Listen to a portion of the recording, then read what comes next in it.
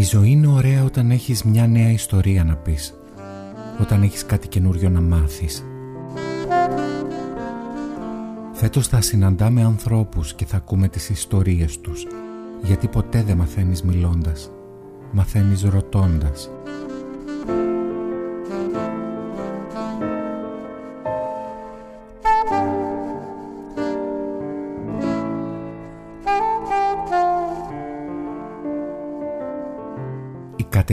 Κατερίνα Κουτσογιάννη είναι μια πολύ γλυκιά γυναίκα και ένα εξαιρετικά δυναμικό στέλεχος του Συλλόγου Ασθενών με ρευματικά νοσήματα.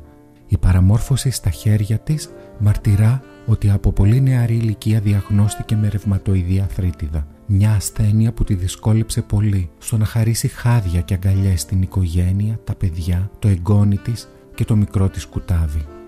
Δεν το έβαλε όμως ποτέ κάτω και αγωνίζεται για την ίδια και για τις ζωές όλων αυτών που έχουν ανάλογα προβλήματα υγείας. Ας ακούσουμε την ιστορία της. Καλησπέρα και ευχαριστώ πάρα πολύ που αποδεχτήκατε αυτή την πρόσκληση και είστε εδώ για να κάνουμε μία κουβέντα και να βοηθήσουμε πολύ κόσμο. Είναι κάτι που σας αφορά τελικά. Αυτό που αντιμετωπίσατε στη, δουλειά, στη ζωή σας, στην καθημερινότητά σας, να μπορέσει ο κόσμος μέσα από την εμπειρία σας να το ξεπεράσει, να το αντιμετωπίσει έτσι. Να ευχαριστήσω πρώτα απ' όλα για την πρόσκληση για να πω ότι πραγματικά έχετε ιδιαίτερη ευαισθησία στο θέμα αυτό. Σχεδόν κάθε χρόνο ερχόμαστε και από άλλες εκπομπές. Ε, η αλήθεια είναι αυτή ότι η προσπάθεια η δικιά μας κυρίως των οργανώσεων ασθενών είναι αυτή. Να ενημερώσουμε τον κόσμο για τα νοσήματα αυτά, ότι ναι μεν δύσκολα νοσήματα σήμερα όμως αντιμετωπίζονται να τους υποψιάσουμε ε, για κάποια συμπτώματα τα οποία πολλές φορές τα αγνοούμε ή δεν τους δίνουμε σημασία, τα οποία όμως πρέπει να τα προσέξουμε, γιατί αυτό μπορεί να σημαίνει στο τέλος ότι θα σωθούμε από αυτή την, την άμεση αντιμετώπιση. Τώρα πια ξέρουμε ότι τα νοσήματα αυτά όταν αντιμετωπιστούν έγκαιρα, η ποιότητα ζωής των ασθενών είναι εξαιρετική. Ε, Από την εμπειρία σας, α, οι περισσότεροι αυτά τα συμπτώματα τα οποία λέτε τα αγνοούμε, κάνουμε ότι δεν τα βλέπουμε και ποια συμπτώματα είναι αυτά; Ε, να πω ότι το, το κρίνω από τη δική μου εμπειρία. Ε, όταν, πρωτο, όταν πρωτο άρχισα να έχω τα προβλήματα, καταρχήν ήμουν πάρα πολύ νέα, ήμουν 29 χρονών. Επομένως δεν μπορούσα να φανταστώ η πόνη που είχα, η έντονη πόνη που είχα στα χέρια, ότι μπορεί να ήταν κάτι άλλο εκτός από κούραση. Ε, ε, πάντα το σώμα μας, αυτό νομίζω ότι είναι γενικός κανόνας, το σώμα μας μας ειδοποιεί για όλα. Εμείς απλά δεν του δίνουμε σημασία πάντα. Εργαζόσασταν στην τράπεζα. Ε, τότε όταν πονούσατε πού, στα δάχτυλα, στη... Πονούσα, ναι, πονούσα από τους καρπούς. και κάτω πάρα πολύ έντονα. Εγώ το απέδωσα στο ότι επειδή ετοιμαζόμουν να πάρω άδεια, το ξέρουμε όλοι αυτό, ότι όταν έχουμε μια τέτοια δουλειά, συνήθως κοιτάμε να μην αφήσουμε κρεμότητες για να μπορέσουμε να φύγουμε ε, με άδεια και να μην έχουμε έτσι το άγχος της δουλειάς. Ε, δούλευα λοιπόν εντατικά για δύο εβδομάδες περίπου, ώστε να μπορέσω να φύγω με άδεια. Ε, απέδωσα λοιπόν τους πόνους που είχα, ήταν αρκετά έντονοι πόνοι, τους απέδωσα στην κούραση. Λέω να δεις κουράστηκα, ε, όμως πήγα διακοπές, ξεκουράστηκα, παρόλα αυτά οι πόνοι επιμένανε. Και μάλιστα άρχισα να πονάω και σε άλλα σημεία. Πόνουσα στους ώμους, σε σημείο πολύ έντονο.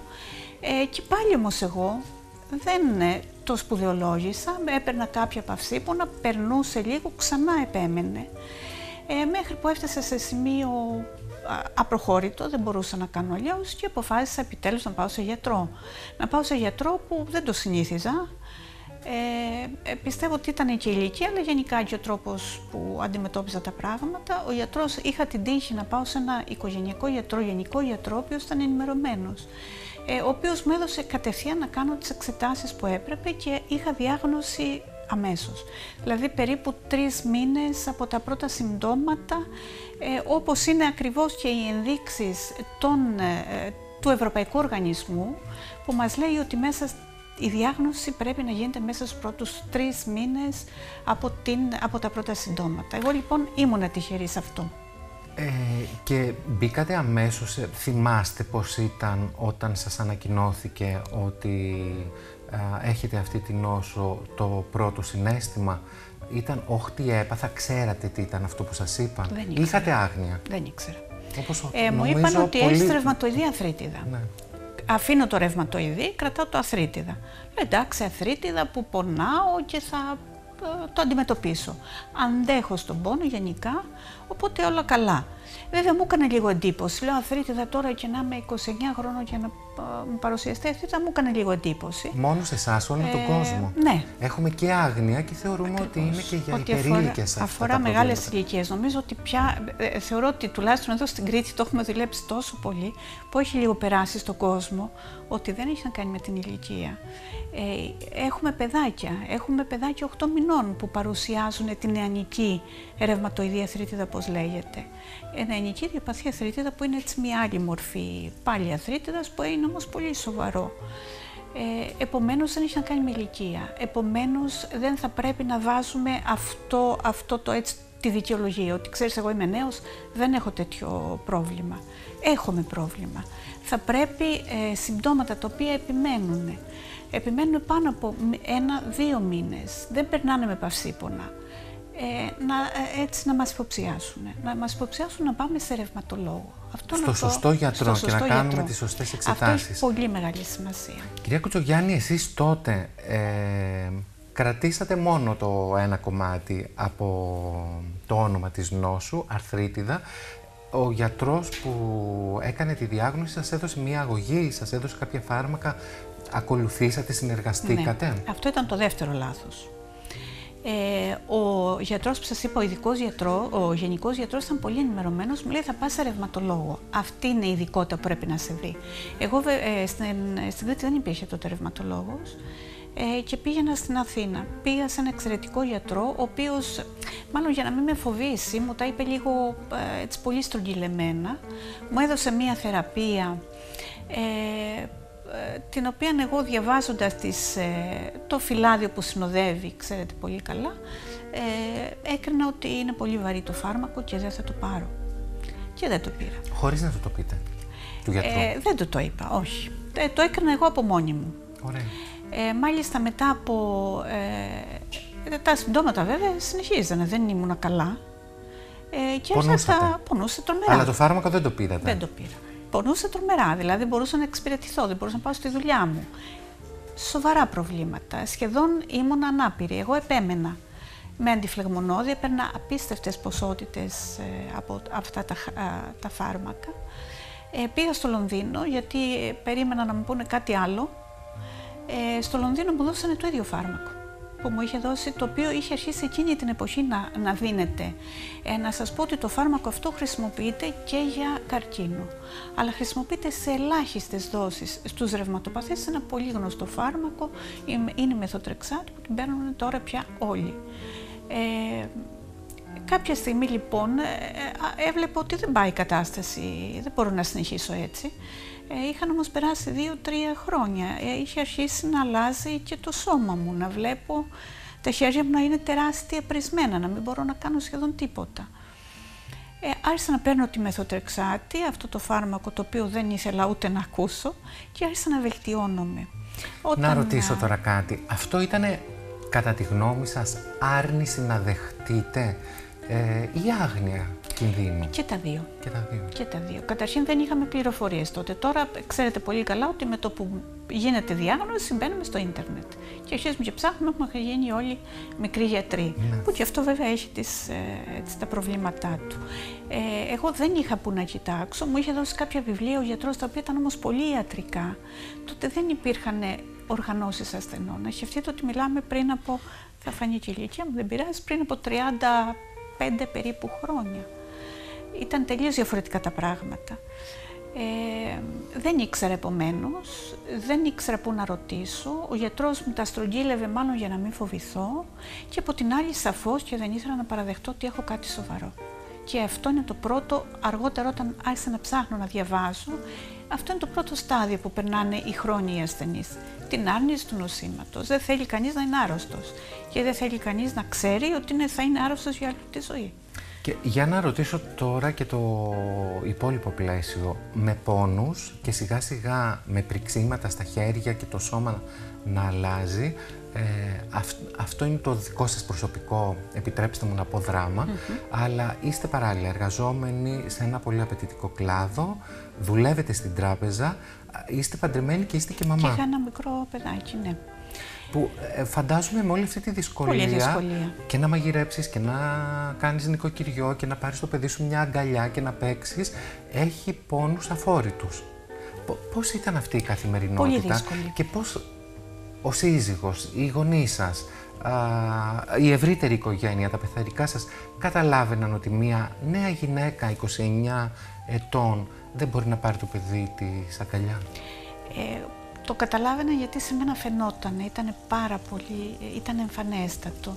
Ε, να σκεφτείτε ότι εγώ έπρεπε να είμαι στη δουλειά 8 η ώρα τότε ε, και σηκωνόμουν από τις 6 για να μπορέσω να ξεπιαστώ. Είναι πολύ χαρακτηριστικό το πρωινό πιάσιμο στα νοσήματά μας, να μπορέσω να ξεπιαστώ, να κινηθώ, με την ο άντρας μου δεν μπορούσα να ντυθώ ε, και να μπορέσω έτσι λίγο να ντυθεί το παιδί, να ετοιμαστεί. Είχα πολύ μεγάλη συμπαράσταση από την οικογένεια, πάρα πολύ μεγάλη. Είχα τη μητέρα μου που μου μαγείρευε, μου σιδέρωνε, τακτοποιούσε το σπίτι. Είστε πολύ τυχεροί. Είμαι πολύ τυχερή, δεν είναι όλοι έτσι, το ξέρω. Επειδή μας ακούει πάρα πολλοί κόσμος, ενώ α, ο ασθενής κοιμάται, το σώμα του ξεκουράζεται, όταν ξυπνάει α, είναι σαν να έσκαβε όλη τη νύχτα. Νιώθει τέτοια κούραση, τέτοιο έτσι ακριβώς. κλείσιμο. Ε, ακριβώς, ακριβώς, ακριβώς έτσι όπως τα λέτε. Και εάν κοιμηθεί, γιατί η αϊπνία είναι ένα πρόβλημα τεράστιο που απασχολεί πάρα πολύ τους ασθενείς με ρευματικά νοσήματα. Δεν, Δεν κοιμάται από τους πόνους. Ναι. Δεν κοιμόμαστε, μπορούμε να βολευτούμε στο κρεβάτι. Ε, όταν σηκωθείς και να κοιμηθείς, δεν μπορείς να κουνηθείς. Και αυτό δεν μπορείς να το καταλάβεις αν δεν το αισθανθείς. Δηλαδή, ε, έχεις περιορισμένη κίνηση. Αυτό. Δεν μπορείς για να σηκωθείς πρέπει να κάνεις διάφορες μανούβρες, να σηκωθείς από το κρεβάτι, να περπατήσεις βήμα-βήμα, να σκεφτείτε ότι μία απόσταση που την κάνω σε ένα λεπτό τώρα πια, την έκανα μπορεί να, να μου έπαιρνε και 5 και 10 λεπτά να πάω στην τουαλέτα άθλος. Άθλος να ε, πληθώ, να όλα αυτά. Πολύ απλά πράγματα τα οποία δεν τους δίνουμε σημασία.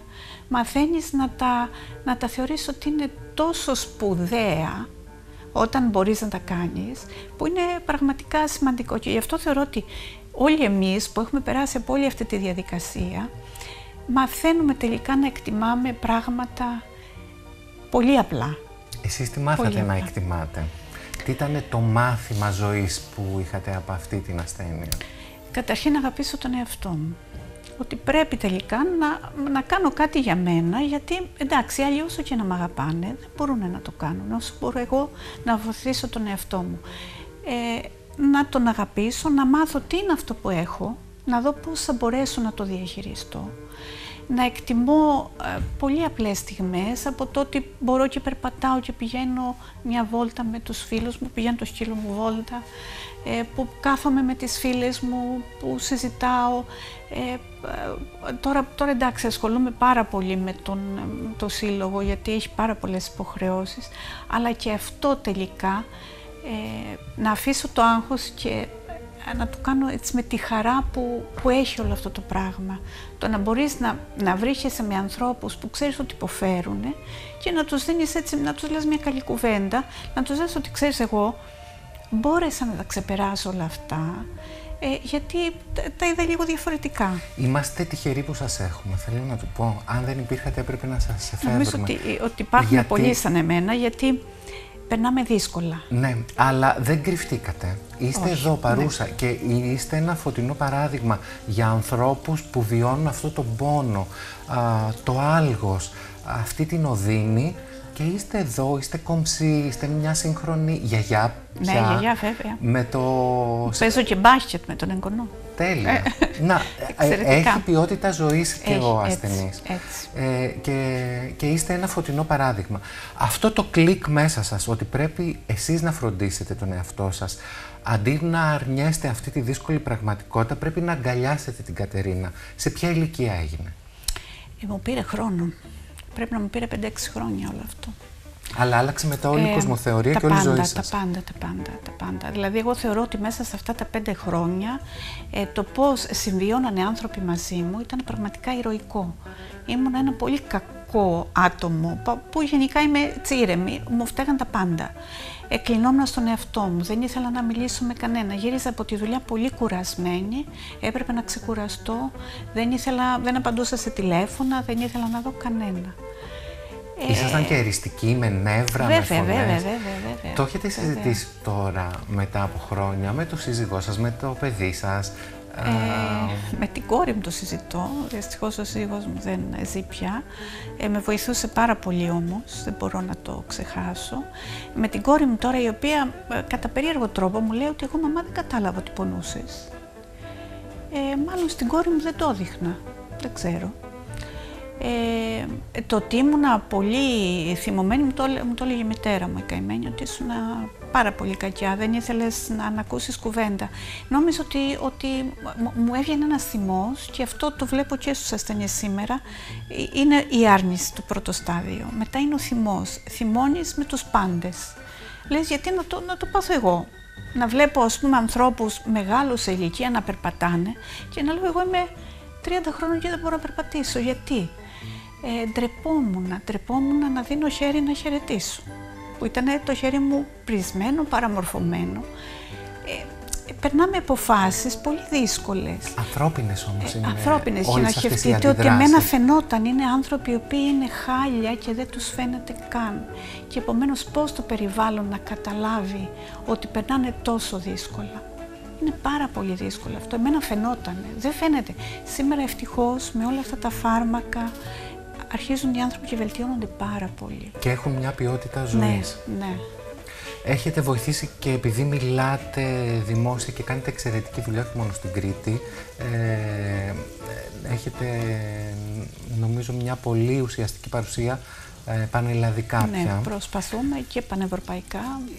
βοηθάει πάρα πολύ ναι, η ναι. ενημέρωση και να ξεπεράσουμε δυσκολίες και ταμπού και να βελτιωθούν οι συνθήκες της καθημερινότητας αυτών των ανθρώπων σε συνδυασμό με τις θεραπείες και τα φάρμακα. Ναι, Α, και πείτε μου λίγο από την επαφή που έχετε με αυτή την εξωστρέφεια και την αποδοχή του προβλήματος με όλους αυτούς τους ασθενείς, άντρες και γυναίκες όλων των ηλικιών και πολλοί νέοι άνθρωποι και μεγαλύτερης ηλικίας.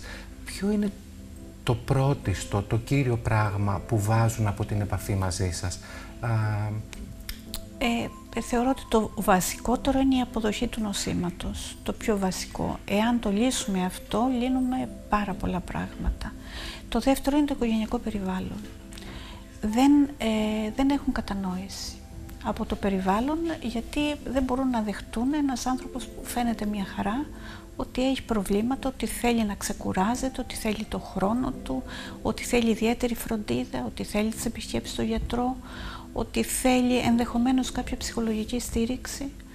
Ε, υπάρχει μια δυσκολία. Εκεί χρειάζεται ενημέρωση. Ναι, χρειάζεται και... ενημέρωση. Και, τώρα, τώρα προσπαθούμε να αρχίσουμε, δηλαδή αρχίζουμε και στρεφόμαστε και στο οικογενειακό περιβάλλον πολύ πιο έντονα από ό,τι κάναμε μέχρι τώρα. Ναι, για, γιατί υποφέρουν όλοι. Έτσι, και, μέχρι τώρα είχαμε τον ασθενή στο επίκεντρο. Τώρα αρχίζουμε και πιάνουμε και το οικογενειακό περιβάλλον να μάθει τι είναι όλο αυτό το πράγμα. Λοιπόν, θέλω να πω δημόσια ότι μου κάνετε ένα σπουδαίο δώρο πριν από δύο χρόνια. Με καλέσατε να φορέσω μία ειδική στολή για να νιώσω πώς βιώνει ένας άνθρωπος που έχει ρευματοπάθεια. Είναι μία στολή που έχει λάστιχα, έχει σίδερα πάνω, έχει βάρη και θέλω να πω δημόσια ότι ήταν σαν να κουβαλάω άλλον έναν άνθρωπο πάνω στην πλάτη μου. Ε, αυτό σημαίνει ότι μέσα στο πεντάλεπτο νιώθεις απίστευτο πόνο και κούραση, και λάστιχα που μου δυσκολεύανε να κάνω κινήσεις. Να απλώσω το χέρι μου, να πιάσω ένα ποτήρι, να πιω λίγο νερό. Ε, μόνο έτσι κατάλαβα πώς πώς νιώθετε. Ακριβώς. Όσο και να μου το περιγράφατε με λόγια, δεν μπορούσα να μπω στη θέση σας και να το καταλάβω. Και αυτό ήταν δώρο ζωής να μπει στη θέση και του Και για μας ήταν εξαιρετικό το ότι μετά η περιγραφή ήταν ακριβώς έτσι, έτσι όπως το βίωσες. Ήταν ακριβώς αυτό που νιώθουμε, χωρίς να σου έχουμε πει τίποτα. Βέβαια δεν μπορέσαμε τον πόνο να μεταφέρουμε και αυτό είναι ένα, ένα μεγάλο θέμα που ο ασθενής δεν μπορεί ούτε στο γιατρό του να μεταφέρει τον πόνο. Είναι κάτι που το βιώνει ο ίδιος, δηλαδή ο γιατρός όσο κοντά και να είναι, όσο ξέρει, όσο και να ξέρει το νόσημα, δεν μπορείς να του δώσεις ακριβή εικόνα τι περνάς και πώς είναι ακριβώς. Ο πόνος είναι πολύ προσωπικός Ο πόνος είναι ακριβώς. Και απερίγραπτος. Είναι πάρα πολύ δυνατός, ναι. Και θέλω πριν σας αποχαιρετήσω και πριν τελειώσουμε αυτή την κουβέντα να κλείσουμε αισιόδοξα. Φαντάζομαι ότι ένας νέος άνθρωπος που έχει να καλύψει χίλιες δυο υποχρεώσεις σε δύσκολες εποχές πρέπει να εργαστεί, πρέπει να φροντίσει τα παιδιά του, πρέπει να εξασφαλίσει το εισόδημα. Πώς θα το κάνει με όλες αυτές τις δυσκολίες και τον πόνο; Οι θεραπείες σήμερα, τα φάρμακα, η, όπως μας είπατε, η γρήγορη αποδοχή και το να είσαι συνεργάσιμος με το σωστό γιατρό θα σε βοηθήσει ώστε να έχεις στη δουλειά σου μια καλή εξέλιξη και τα συμπτώματα να είναι τέτοια που να μην σε ακινητοποιούν, να μπορείς να βγάλεις ένα μεροκάματο. Όλα αυτά και το να μάθουν οι ασθενείς να μιλάνε. Δεν μπορεί να πηγαίνει στη δουλειά, να μην μπορείς να λειτουργήσει όπως πρέπει και να μην το ξέρει ο συναδελφός σου ότι έχει αυτό το πρόβλημα. Ε, είχαμε κάνει κάποιες, κάποιες έρευνες και είδαμε ότι ένα πολύ μεγάλο ποσοστό ασθενών που εργάζεται δεν έχει πει το πρόβλημά τους στη δουλειά. Από ντροπή. Φοβάται, φοβάται με το να απολύσουν, ντρέπεται. Αυτό είναι, δεν μπορείς αν δεν μιλήσεις και ε, θεωρώ ότι το να μιλήσεις είναι απελευθέρωση. Πέρα από το ότι πρέπει να το έχει αποδεχτεί πρώτα, το επόμενο βήμα είναι να μιλάς. Ο νόμος προστατεύει τα άτομα που έχουν μια ιατρική διάγνωση, ότι η δουλειά τους είναι εξασφαλισμένη. Στο δημόσιο τομέα, στο ιδιωτικό δεν είναι. Ξέ... Ναι. Ξέρετε πολύ καλά ότι τα πράγματα είναι δύσκολα. Ε, φοβούνται οι ασθενείς να μιλήσουν, ε, φοβούνται να ζητήσουν, είναι πολύ χαρακτηριστικό βέβαια αφορά δημόσιο τομέα. Είχαμε ένα δάσκαλο ε, ο οποίος δεν μπορούσε, ε, δεν μπορούσε να ανέβει σκάλα, είχε αγγελοποιητική σπονδυλαθήρα που είναι ένα δύσκολο νόσημα ρευματικό, δεν μπορούσε να ανέβει σκάλα. Τον βάζαν λοιπόν μόνιμα στο, στον πρώτο όροφο. Παρακαλούσε τον ε, διευθυντή, βάλε με στον πρώτο, δεν μπορώ να ανέβω. Σας πληροφορώ ότι ο εργοδότης δεν το έκανε ο διευθυντής του, ο συνάδελφός του. Και αναγκαστήκαμε να κάνουμε μία επιστολή έτσι με πολύ βαρύγδουπες εκφράσεις για να τον πείσουμε να κάνει αυτό το απλό. Δηλαδή να τον βάλει τον άνθρωπο σε μία τάξη που ήταν στο ισόγειο. Πόσο απλό. Επομένως ε, μπορείτε να φανταστείτε πόσα προβλήματα αντιμετωπίζουν οι άνθρωποι από τον ε, ξενοδοχό υπάλληλο που δεν μπορεί να σηκώσει το δίσκο και φοβάται να το πει ε, μέχρι την ε, υπάλληλο που δεν μπορεί το πρωί να σηκώνεται και αργεί μόνιμα, με αυτό μπορεί να λυθεί πάρα πολύ εύκολα. Ε, ε, βάλτε ένα ωράριο να μπορεί να έρχεται πιο αργά και να φεύγει λίγο πιο αργά. Δηλαδή είναι πράγματα πολύ απλά που μπορούμε να λύσουμε, αλλά να μιλάμε. Και θα πρέπει να ξέρουν ότι υπάρχουν και άνθρωποι που είναι δίπλα τους. Είναι η συλλογή ασθενών, που γι' αυτό είμαστε και είναι πάρα πολύ δραστήριοι και πολύ ναι. παρόντες. Ε, έχετε ένα γεμάτο πρόγραμμα, νομίζω από τότε που εθελοντικά αφιερωθήκατε σε αυτή την προσπάθεια μέσα από το δικό σας πρόβλημα να βοηθήσετε άλλους, μέσα από τη σύσταση των συλλόγων, τα αποτελέσματα το τελευταίο διάστημα με εξαιρετικές συνεργασίες με το επιστημονικό δυναμικό της χώρας έχετε κάνει άλματα. ότι στέκονται δίπλα μας, ε, τουλάχιστον εδώ στην Κρήτη έχουμε εξαιρετική, γίνονται έρευνες. εξαιρετική συνεργασία, γίνονται μελέτες, κλινικές μελέτες στα ρευματικά νοσήματα προχωράνε εξαιρετικά, έχουμε κέντρα πολύ σπουδαία, εδώ έχουμε πολύ καλούς γιατρούς, έχουμε μία κλινική εξαιρετική που κάνει και ερευνητικό έργο. Ε, και στην υπόλοιπη Ελλάδα τώρα που έτσι συνεργάζομαι με πολλούς ανθρώπους βλέπω ότι υπάρχουν πάρα πολλοί άνθρωποι πολύ ευαισθητοποιημένοι. ε, που στέκονται δίπλα μας. Παρήγορο είναι αυτό ναι, και ναι, αυτό σημαίνει ότι ο ασθενής σήμερα ε, έχει ελπίδες για να έχει μια καλή ποιότητα ζωής, μια όμορφη καθημερινότητα. Ακριβώς. Να μπορεί να αγκαλιάσει, να χαϊδέψει και να ζήσει πράγματα που ίσως άνθρωποι όπως εσείς παλιότερες Αρκεί να το πιστέψει. Ναι, Αρκεί να το πιστέψει. Ναι, Θέλω να, σας ευχαριστήσω πάρα πάρα πολύ. Εγώ ευχαριστώ πάρα να είστε πολύ. γεροί, δυνατοί, να χαίρεστε την οικογένειά σας και να παίζετε μπάσκετ με τον εγγόνι Ευχαριστώ πάρα πολύ εγώ.